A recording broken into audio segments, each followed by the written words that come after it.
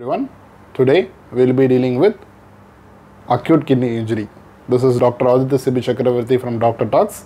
Today we, will be dealing with the second topic in nephrology that is the acute kidney injury.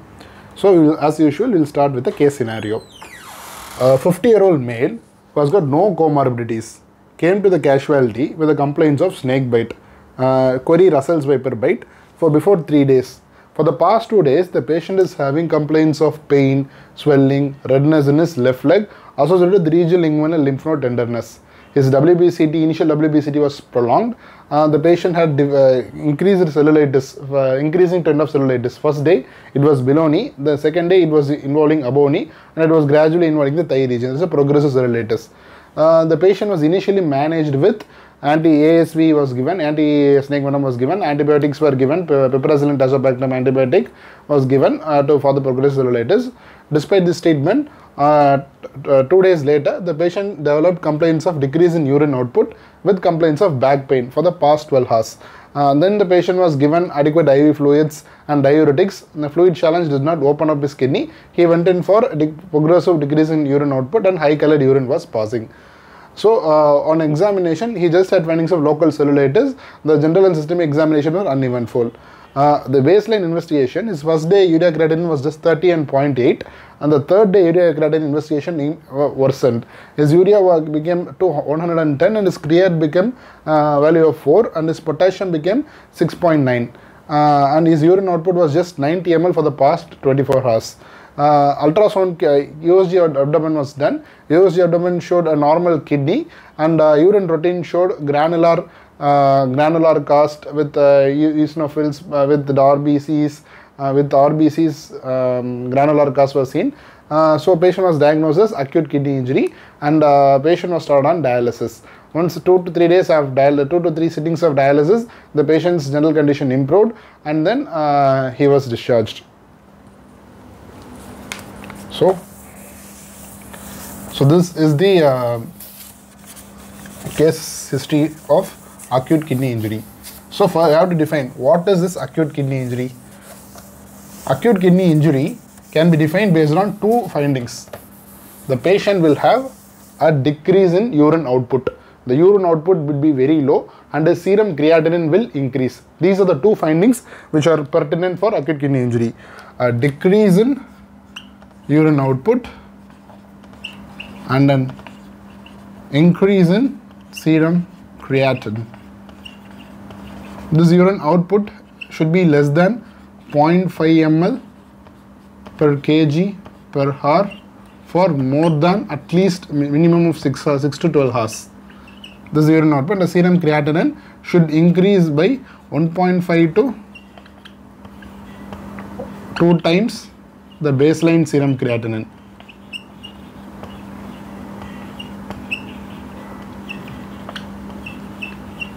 So this is the two creatinine.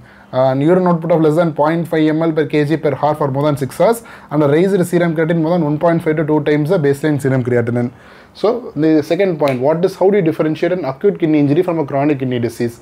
The acute kidney injury, basically the patient will be usually a normal healthy being before the event.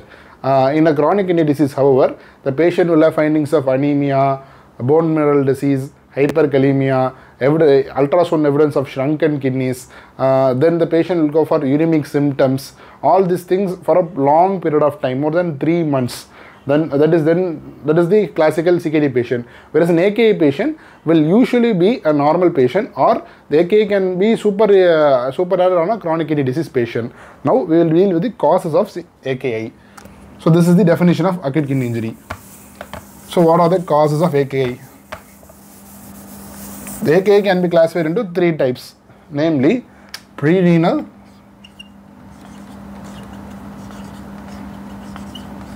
renal and post-renal. These are the three basic classification of the causes of kidney injuries. The pre-renal can be because of vomiting, the patient can have loose stools, the patient can have blood loss, hemorrhagic blood loss, or there can be uh, uh, because of congestive cardiac failure, or this can be because of liver cell uh, liver failure, or this can be secondary to drugs like AC inhibitors, ARBs and NSAIDs. So these are the causes of pre-renal AKI. Pre-renal literally means there is decrease in circulating blood volume. So the renal blood flow will be decreased and as a, as a result of decreased renal blood flow, the GFR will be low and there will be accumulation of these nitrogenous waste products. That is what we call as pre-renal AKI. It can occur, secondary to any of this above condition. The renal, the most important one, uh, the most important AKI can be classified based on the structure it involves. Either it can involve the glomerulus glomerulus can be involved, as the acute glomerulonephritis or nephrotic syndrome. Uh, the glomerulus can be involved. Then the vas vassal. Vascular can be either the large vessel or the small vessel. A large vessel disease predominantly includes a lot of ailments like renal artery stenosis, uh, renal vein thrombosis. Uh, the patient, uh, fiber, uh, patient with uh, abdominal compartment syndrome, abdominal compartment syndrome, renal artery stenosis, renal vein uh, uh, renal artery stenosis, renal vein thrombosis, abdominal compartment syndrome, renal artery dissection, anything and this is the large vessel cause of uh, AKK. The small vessel uh, again includes uh, TTP or HUS. This is thrombotic thrombocytopenic purpura or hemorrhagic ischemic syndrome, DIC, or it can be because of malignant hypertension. This can be secondary to calcineurin inhibitors tacrolimus, those group of drugs, uh, calcineurin inhibitor, or it can be secondary to sepsis, or this uh, small vessel disease uh, can occur because of atheroembolism.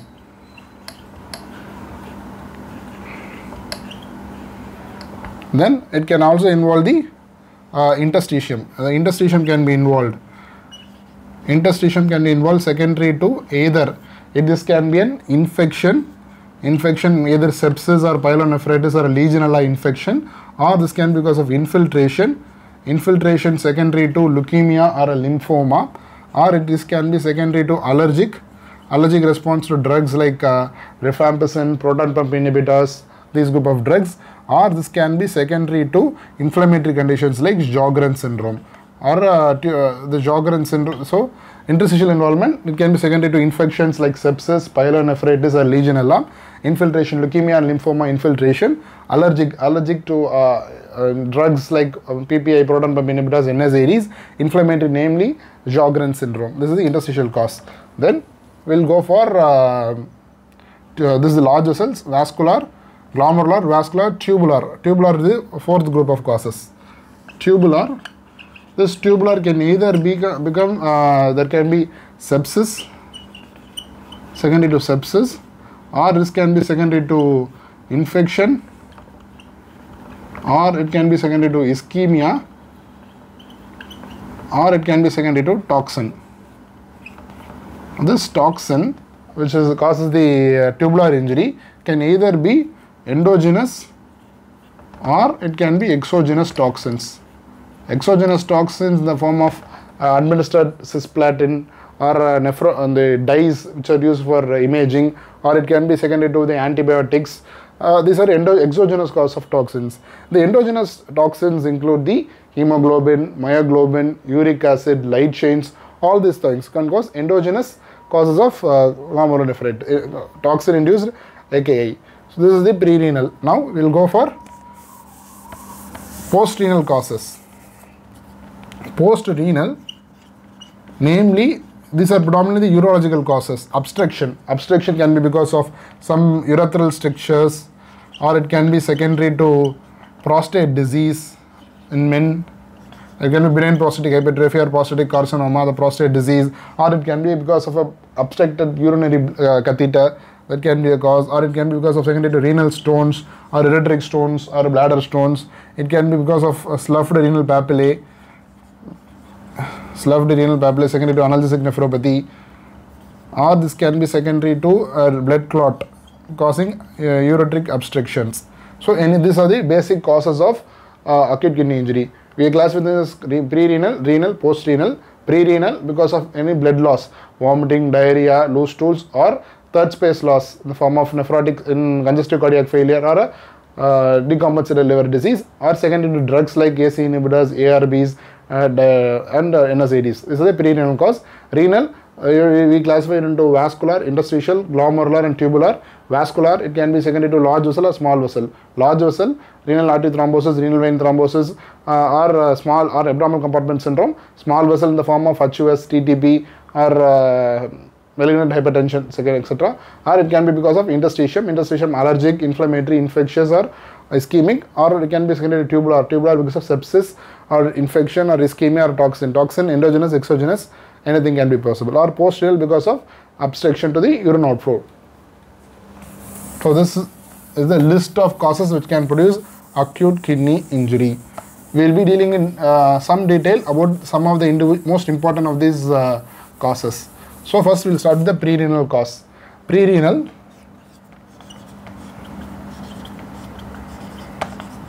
there are two conditions, the hepatorenal syndrome 1 and hepatorenal syndrome 2. Hepatorenal, syndrome type 1 is a more severe disease. So what, why this hepatorenal syndrome occurs? This is because in a patient with uh, decompensated liver disease, cirrhosis patient, there will be splanchnic vasodilatation. There will be loss of systemic vascular resistance, splanchnic vasodilatation. So much of the blood will be trapped within this splanchnic circulation. So the patient's effective circulating blood volume will decrease. Because of the decreased effective circulating blood volume, the renal blood flow will decrease. So the patient can have acute AKA-like presentation. There won't be any structural problem with the kidney. They can only present the AKA-like presentation in advanced cirrhosis patients. So this type 1 is more malignant. It has got a rapid increase in creatinine by 2, 2.5 to 3 times or acute worsening in renal function test can be required and the patient may require dialysis in most of the cases. The type 2 hepatorenal syndrome however is a milder form where the patient only presents with refractory ascites. Uh, this can be uh, made worse with the presence of a spontaneous bacterial peritonitis. Uh, so how do you manage this hepatorenal syndrome? You have to go for orthotopic liver transplantation. That is the treatment of choice. But before going to treatment, you can try drugs like IV albumin, 25 milligram or 50 milligram uh, can be given, or uh, drugs which increase the systemic vascular resistance like norepinephrine, midodrine, which is an alpha agonist, or uh, octreotide or somatostatin. Any drug can be used. So this is the hepatorenal syndrome. Then you have to go for what is known as the myogenic reflex. So what is this myogenic reflex? Uh, myogenic reflex means when the renal uh, glomerular, the renal blood flow decreases, this is sensed by the renal afferent arteriole and there will be release of uh, substance like prostaglandins, kinins, bradykinin, all this are nitric oxide. This release of this prostaglandins will cause afferent vasodilatation. Because of this afferent vasodilatation, uh, this will increase in the glomerular filtration rate. So this is called as myogenic reflex. It is mediated by the prostaglandins. So, uh, so when we give uh, NSAIDs uh, like um, uh, like uh, uh, aspirin or aspirin, paracetamol, this uh, prostaglandin production uh, will be affected. Because when the prostaglandin production is affected, there will be decrease in afferent, afferent vasodilatation and uh, decrease in GFR. This is my, myogenic reflex. And then role of angiotensin 2. So what is angiotensin 2? Again, the renal afferent arteriole has got the JG cells, the juxtaglomerular cells. They secrete renin in response to low perfusion pressure. This renin will activate the angiotensin 2. This angiotensin 2 will cause efferent vasoconstriction and cause increase in the GFR. Uh, we can increase the GFR by two mechanisms, either by afferent vasodilatation or efferent vasoconstriction. So if this is the afferent arteriole, this is the glomerular capillaries and uh, this is the efferent arteriole. And this is the uh, this is the tubules. These are the capillaries sustaining either by dilating this afferent arteriole or by constricting the efferent arteriole we can increase the intraglomerular pressure. Thereby increase in the intraglomerular hydrostatic pressure will increase the uh, glomerular filtration rate. This is the protective mechanism. When we use AC inhibitors like uh, en- enalapril or an losartan like uh, uh, ARBs, this ero- angiotensin 2 will be blocked and renal efferent vasodilatation will be blocked. So uh, they are contra- the AC inhibitors are contraindicated in patients with bilateral renal artery stenosis. The other thing you have to go for is the tubuloglomerular feedback. What is this tubuloglomerular feedback? Uh, this means the tubules, in the tubules in the distal convoluted tubule, they have a specialized cell called as macula densa cell. This macula densa cell can identify when there is increased solute delivery uh, to the um, densa cell, it will cause the release of adenosine and will cause afferent vasoconstriction and vice versa in the opposite mechanism. So this tubuloglomerular feedback will be this uh, will protect the kidney against this harmful toxins and it is a protective mechanism. During there is activation of this tubuloglomerular feedback, the patients will have a decrease in urine output and there will be increase in serum creatinine and the electrolyte panels go for worsen. All the acute problem with AK occur during due to this tubuloglomerular feedback but however they are protective. Then other uh, thing are the cardiorenal syndrome. Cardiorenal syndrome type 1 and type 2. Second to uh, cardiorenal syndrome type 1, type 2, type 3, type 4, type 5. Five types of that. First two is are cardiorenal, the third and fourth are renocardial. Uh, acute uh, cardio ACS causing AKA or an uh, acute uh, kidney injury causing an um, cra- acute heart disease. They are uh, they are the cla- cardiorenal syndromes.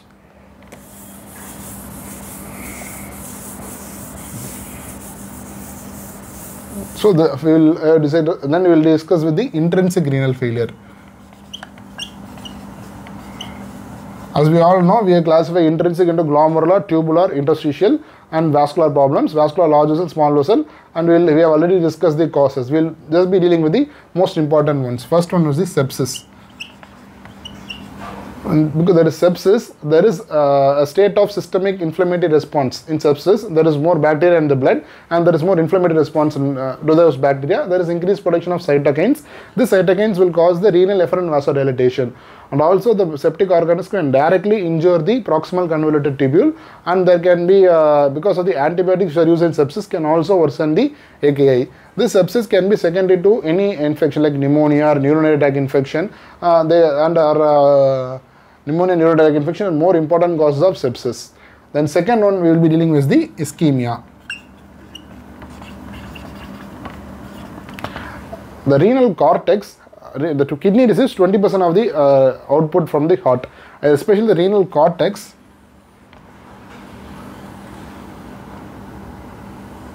If this is, just imagine this is the cortex and this is the medulla.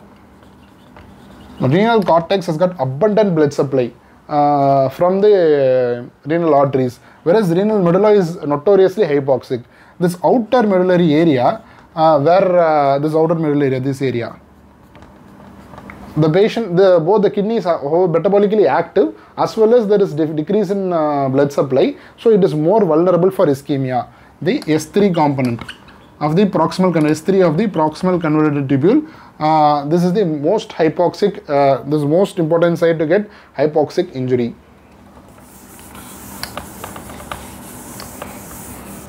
So this is ischemia, or it can be secondary to vascular, large vessel and small vessel. Large vessel, uh, small vessel, as we have already mentioned, it can be secondary to hemolytic uremic syndrome, thrombotic thrombocytopenic purpura, small vessel, HUS or TTP. HUS has a classical trait of anemia, renal failure, thrombocytopenia. There will be a uh, there are two types of HUS, typical and atypical HUS. Typical HUS can occur secondary to a, a gastroenteritis or a pneumonia by a, uh, by E. coli or a, a Streptococcus pneumoniae. This will be occurring one week before the actual infection. After one week after uh, this infection, the patient will develop anemia, raising in the urea creatinine concentration. There will be evidence of schistocytes uh, in peripheral bed smear. There will be increase in LDH. Uh, this is the classical uh, HUS. The uh, atypical HUS can be due to the activation of the alternate complement pathway due to mutation factor H, factor I, and factor B mutation. HUS should, can should be managed by plasmapheresis uh, and uh, the, there is no role for steroids. Then uh, other problems which can cause uh, acute tubular illness is the post-op cases. Major surgeries uh, which can cause hypotension and increased blood loss during intraoperative period, they can increase the risk of AK in post-op uh, patients. The most important surgeries are the cardiac surgery or the valve surgery or uh, the patient secondary to intraperitoneal, major intraperitoneal procedures. Uh, high risk patients are those with diabetes mellitus, those with advanced age, CKD patients. They can also develop this uh, post-op AKI. Then atheroembolism.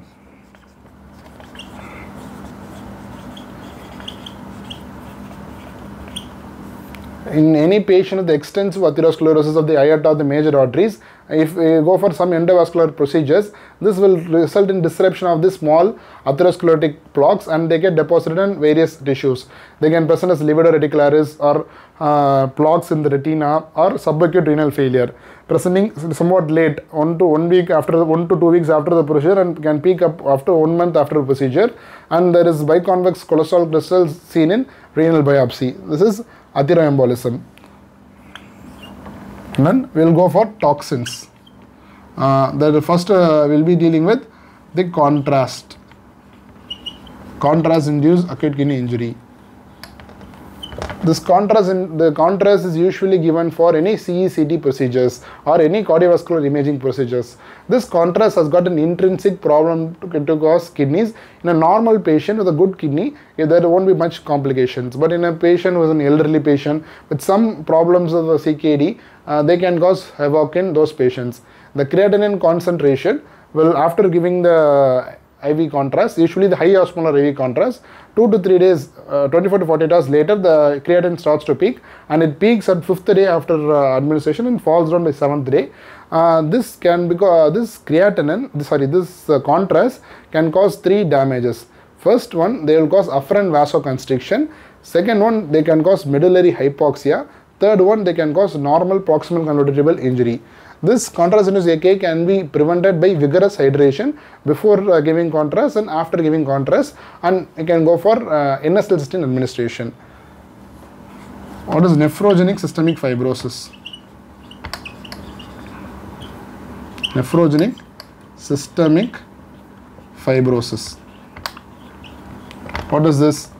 Uh, again, in a patient who has got a poor EGFR less than 30, 30, 30 ml per minute, if you are going uh, to administer gadolinium for uh, doing an MRI, this can trigger a systemic inflammatory response in the form of diffuse subcutaneous uh, induration.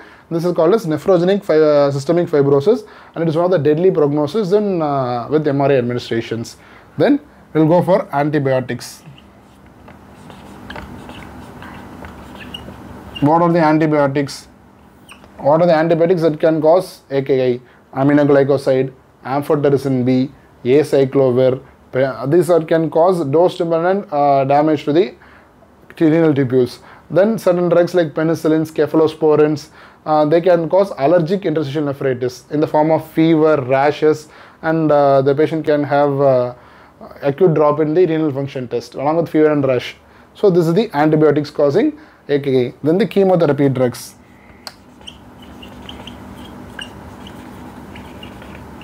Chemotherapy drugs in the form of cisplatin, carboplatin, ifosfamide, uh, bevacizumab, uh, mitomycin, gemcitabine, all these drugs can cause acute kidney injury. Then we'll go for toxins.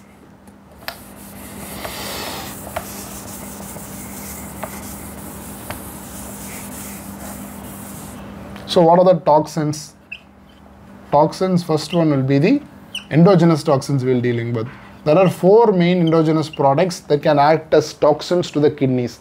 They are uh, uric acid. Uric acid is raised in a setting of tumor lysis syndrome. When you go for aggressive treatment of uh, acute lymphoblastic leukemia or some malignancy, uh, there will be increased destruction of the malignant cells resulting in production of increase in uric acid. Along with that, there will be hyperkalemia, hypermagnesemia, hypocalcemia, hyperphosphatemia with hyperuricemia. This uric, hyperuric acid can cause, crystallization within the renal tubules as well as they cause direct tubular toxicity can result in AKI-like picture.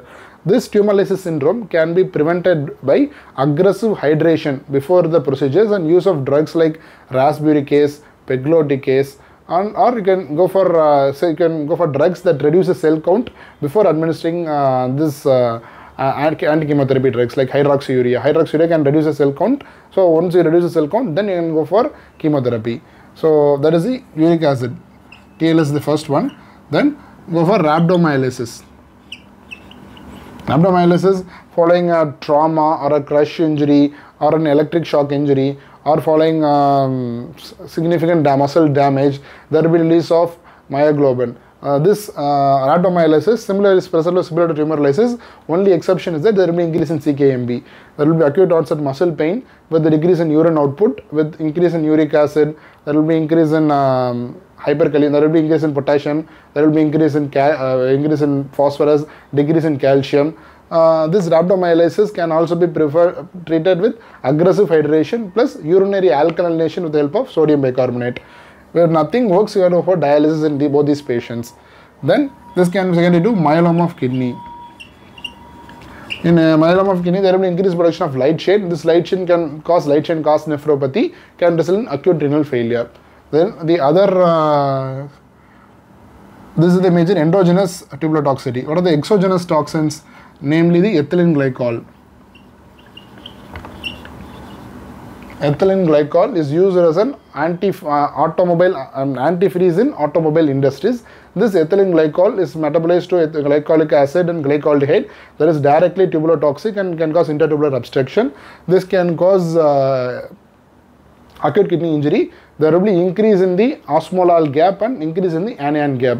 Uh, increase anion gap, increase osmolar gap. Uh, there will be seen in ethylene glycol poisoning. The other poison can be diethylene glycol. This is commonly seen as a contaminant in drugs, pharmaceutical industries. Then it can be second to melamine. Melamine is used as a food preservative uh, industries and that can also sometimes cause acute kidney injury. Then aristolochic acid. Aristolochic acid can also cause acute kidney injury. It is also called as Chinese herb nephropathy. Uh, then it can be secondary involvement of glomerulonephritis. Glomerulonephritis, acute glomerulonephritis, anything can produce as acute kidney injury. So we have dealt in detail about the causes of acute kidney injury. Now we will be dealing with how do you approach a case of acute kidney injury. The first uh, stage in approaching an acute kidney injury will be you have to classify uh, the acute kidney injury. This is given by the KDIGO classification. This is very important. The KDIGO classification for the early stage 1, stage 2 and stage 3. First, you will have to go for uh, urine output. The urine output will be less than 0.5 ml per kg per hour for more than 6 hours, 6 to 12 hours. This is less than 0.5 ml per kg per hour for less than 24 hours or here it is less than uh, 0.3 ml per kg per hour for uh, more for uh, less than for more than 12 hours or complete anuria for more than 24 hours. Or complete anuria for more than 12 hours. So this is the three staging based on the urine output. You can also classify based on the creatinine value. It is 1.5 times to 1.9 times baseline creatinine. That is stage 1 2 to 2.9 times baseline creatinine this is stage 2 uh, more than or equal to 3 times. Baseline creatinine. Or if you start for the renal replacement therapy or if you go for uh, dialysis. I mean dialysis or the absolute value is more than 4 milligram per deciliter. This is the classification of AKI. If the urine output is uh, less than 0.5 ml per kg per hour for less than 12 hours, or if the urine output is more than uh, less than 0.5 ml per kg for uh, less than 24 hours, or if the urine output is less than 0.3 ml per kg per hour for more than 24 hours. This is the uh, urine output classification. Creatinine 1.5 to 1.9 times the baseline, 2 to 2.9 times the baseline, more than 3 times the baseline, or indication for dialysis. This is the classification of acute kidney injury.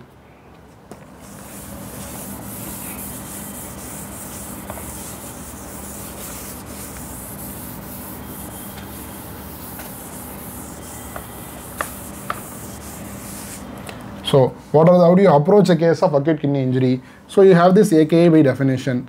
If this AKI plus if the patient has got history of vomiting, loose stools, diarrhea, blood loss, then uh, you, can, classify it as pre-renal AKI. Then you have to look for the signs of pre-renal AKI in the form of hypotension, dehydration, decreased skin turgor, low jugular venous pulse, tachycardia. This will be seen in a pre-renal AKI. Then what are the history, uh, if the patient is having AK with the history of loin pain relating to the loin pain, you have to think of renal colic. If the patient is of AKI with history of any prostate disease or uh, nocturia, hematuria, frequency, increased frequency of micturition during the night or increased frequency of micturition throughout the day, uh, then you have to think of prostatic disease or you have to think in terms of bladder outlet obstructions if the patient is having such symptoms. Suppose the patient is having AKI with the history of fever, rashes, then you have to think in terms of allergic interstitial nephritis or AKI with the history evidence of uh, glomero, AKI with evidence of petechial skin rashes with the above sinusitis or hemoptysis, then you to think in terms of uh, vasculitis. Uh, these are the uh, common uh, appro- uh, approach for AKI patients. Then you will diagnose AKI based on the rise and fall in creatinine.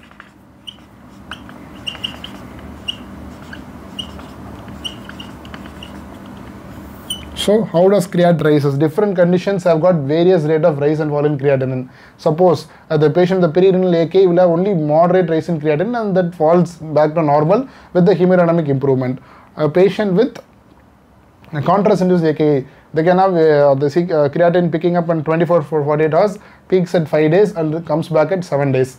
Suppose a patient is having uh, atherosclerotic disease, it peaks very later. Only after 2 weeks only you can have the uh, creatinine level picking up. Then the presence of anemia. the patient is having severe anemia in the absence of hemolysis, you have to think in terms of hemolytic uremic syndrome or a myeloma or in the case of uh, thrombotic thrombocytopenic purpura. If the patient is having significant eosinophilia, significant eosinophilia, you have to think in the term of allergic interstitial nephritis or a patient with Churg syndrome or a polyarteritis nodosa. This should be thought if there is increase in eosinophil count. If the patient is having metabolic acidosis, that can be seen because in even in normal uremia itself we can have metabolic acidosis. How- However, if the patient is having metabolic increase in uh, anion gap, increase anion gap plus increase osmolar gap, you have to think in terms of oxalic acid, I mean uh, ethylene glycol poisoning. If there is increase in decrease in anion uh, decrease in anion gap, this is because seen in multiple myeloma because of increase in the unmeasured anions. Uh, so this uh, findings are be seen. Then what are the findings of rhabdomyolysis? Rhabdomyolysis again, as I said, increase in uric acid, increase in uh, increase in uric acid, increase in uh, potassium, increase in phosphorus, increase in calcium, decrease in calcium, with increase in uric acid and increase in CKMB, the serine rhabdomyolysis.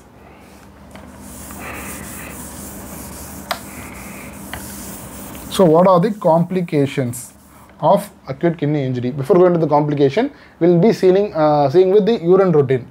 Uh, what are the findings will be seen in an urine routine? What are the findings you see in urine routine? What is the role of USG? What is the role of markers? The recent markers, or what is the role of biopsy? Just a quick review. Biopsy is usually not done in a case of acute kidney injury. If there is a um, the if the cause is very well known, we won't go for biopsy. Biopsy can be done if there is a suspect of glomerulonephritis or a vasculitis or an interstitial nephritis. We can try biopsy.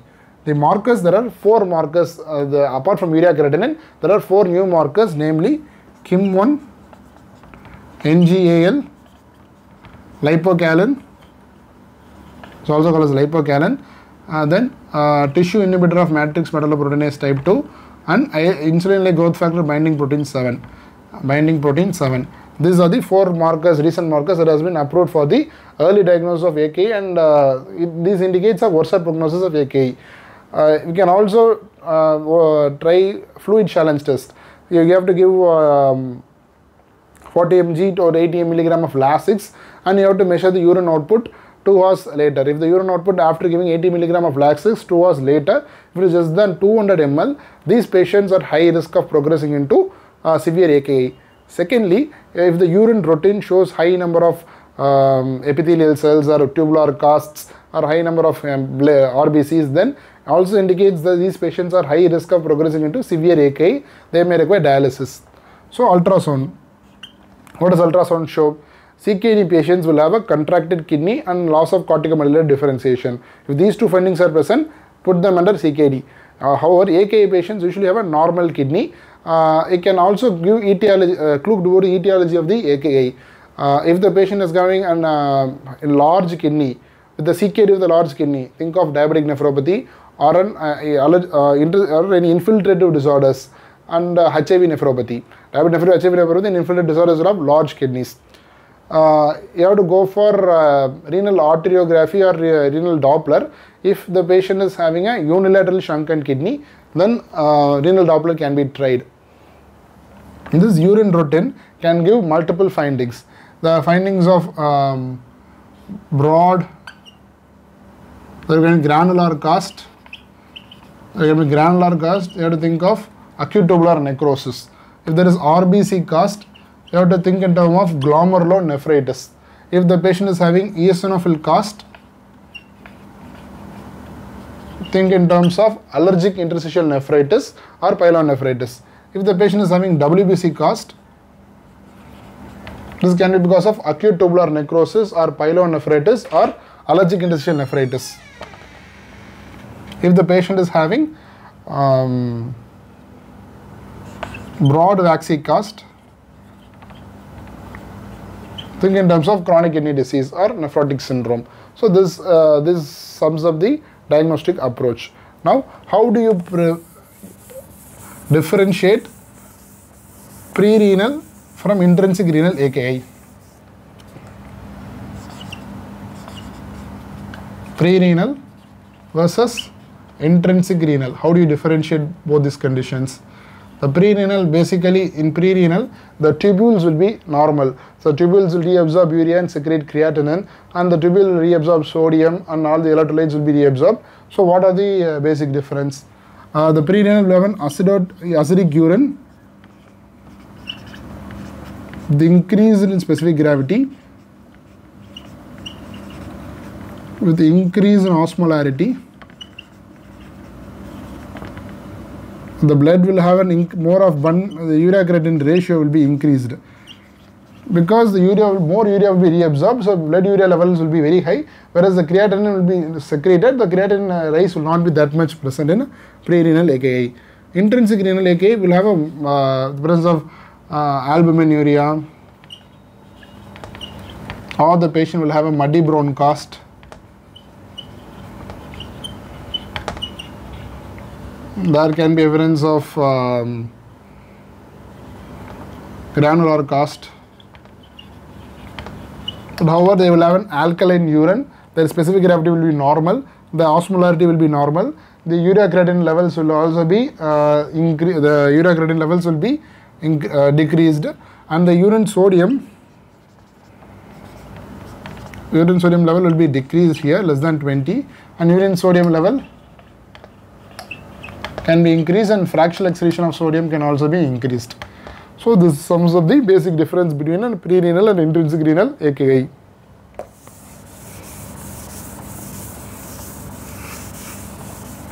So what are the complications AKI go into? AKI can go into first of all there will be hypervolemia or hypovolemia patient can have hyperkalemia, increase in potassium or increase in magnesium or increase in phosphorus, hyperphosphatemia, uh, phosphorus. The patient can have decrease in the serum calcium or the patient can have decrease in the serum sodium. The patient can have uh, uremic complications. There can be secondary to uh, malnutrition and there can be a lot of cardiac complications.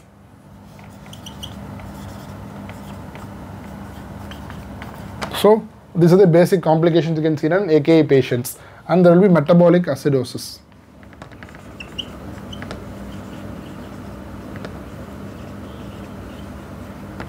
So uh, hypervolemia. Why the AKI patient will go for hypervolemia? Because there will be decrease in the urine output, there will be retention of water and sodium, there will be increase in the extracellular fluid volume. When the extracellular fluid volume increases, the patient will go for pedal edema, uh, pulmonary, and the intracellular fluid volume increases, there will, be, will go for pulmonary edema, pedal edema, weight gain, all these problems will be there. They have to be managed with fluid restriction plus diuretics in the form of loop diuretics or thiazide diuretics. If nothing works, you have to go for dialysis in hypervolemic patients. Hypovolemia, the, in a stage of recovery in the AKI, there will be increased urinary polyuria will be there. This will can these patients will go for hypovolemia. This hypovolemia is because of the excretion of retained urea and all the other nitrogenous waste. When they are excreted, they can go for hypovolemic changes. Hyperkalemia. This hyperkalemia uh, is can occur in acute kidney injury is one of the most worst prognosis in acute kidney injury.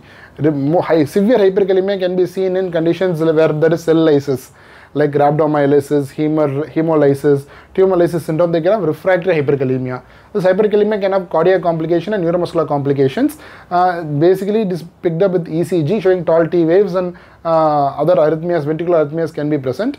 Uh, hyperkalemia can be uh, managed with dietary potassium restriction or you, you, can should reduce the dose of ACE inhibitors, ARBs. You should reduce the you should reduce the dose of uh, um, NSAIDs should be reduced or you have to improve the your potassium excretion by using cholinergic diuretics like Lasix. You should avoid spiro uh, the uh, potassium sparing diuretics should be avoided.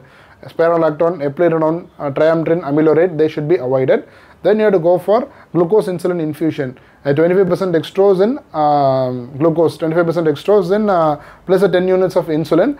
You have to go for infusion over one hour and yeah, you can try other methods like sodium polystyrene sulfonate. This is a potassium binding resin that can cause potassium elimination. If nothing works, you have to go for dialysis and removal of uh, potassium. Inhaled, uh, inhaled uh, salbutamol can also be tried but not much effective. Then the patients with metabolic acidosis. Metabolic acidosis, initially uh, they can have either normal anion metabolic acidosis or high anion metabolic acidosis. This meta mild metabolic acidosis you will not treat, but if there is severe metabolic acidosis with the pH of less than 7.2 or pH less than 7.1 or 7, uh, the bicarb of less than 15 or 10, you have to go for sodium bicarbonate replacement, either tablet sodium bicarbonate or IV sodium bicarbonate, they can be given.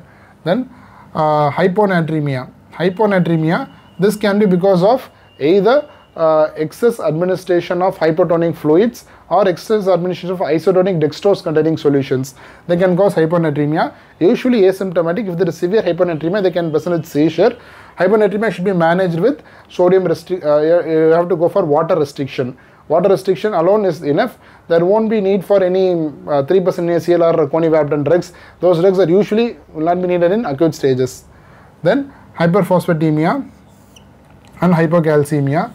This both of them can occur because of a decrease in the GFR lead to phosphate retention. Then this results in extra extraosseous calcification can cause hypercalcemia. Hypercalcemia can present with tingling, numbness, perioral paresthesia, carpopedal spasms, cardiac arrhythmias, refractory seizures. They can ECG showing QT prolongations. So you have to replace calcium gluconate or uh, calcium sulfate if there is hypercalcemic and symptomatic. Then uremia. Uh, due to fall in GFR, there will be accumulation of nitrogenous waste products in the blood. This accumulated nitrogenous waste products, apart from urea, creatinine, there can be lot of other urate, hippurate, sulfate and other cations and anions that can cause this uremic symptoms. If the urea levels are more than 100, they can have symptoms of altered mental sensorium, patients can have symptoms of pericarditis, patient can have symptoms of gastritis, patient can have symptoms of refractory pruritus. These things can be present because of uremia. Then hypermagnesemia, is uh, also possible in um, patients with AK. You have to go for, uh, you should reduce the potassium, uh, magnesium containing antacid should be reduced in such patients. Malnutrition. Malnutrition is a very common complication that can be seen in patients with uh, acute kidney injury. There are, they are high chance of developing uh, infection and inflammation. It's very common. Uh, the protein supplement protein should be given adequately. If the patient is on dialysis, a protein dose of 1.5 kilogram per kg should be given. If the patient is in dialysis, if it's hypercatabolic, you have to go for 1.7 gram per kg. If the patient is AK and not on dialysis, just 1 gram per kg is enough. uh, 1.7 if there is hypercatabolism plus dialysis, 1.5 gram per kg if the patient is on dialysis, 1 gram per kg if the patient is on AK, not on dialysis and not hypercatabolic. Then you have to go for energy supplementation. 20 to 30 kilocalories of energy should be given in patients with uh, hyperkalemia. Now, so don't you the patient has acute kidney injury. Coming to the management of uh, hyperkalemia, management of acute kidney injury. First one, you have to go the general management. You have to uh, reduce the dose of almost all antibiotics and all the drugs based on his creatinine clearance.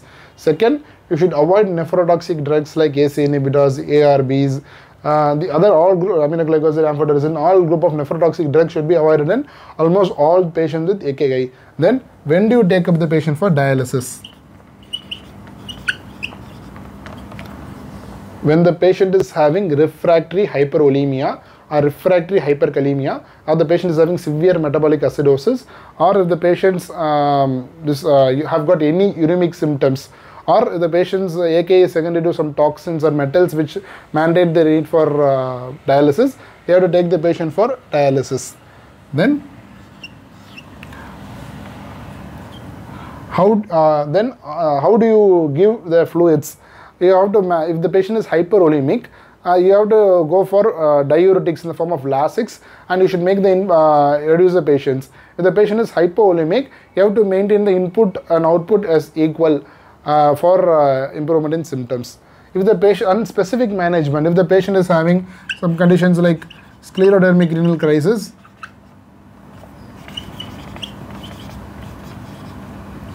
go for drugs like ACE inhibitors. That is the drug of choice in sclerodermic renal crisis. If the patient is having some allergic interstitial nephritis, allergic interstitial nephritis, allergic nephritis, they have to go for immunosuppressive drugs and steroids. Steroids should be given after withholding the drugs, you have to go for immunosuppression and steroids. So, this sums up our uh, discussion on acute kidney injury. I hope this was useful. If you found this discussion to be useful, I would like to I would like you to share this video with your friends. I would like you to comment how the video was, where, where was is it useful. All these things will be helpful to grow my channel. Thank you.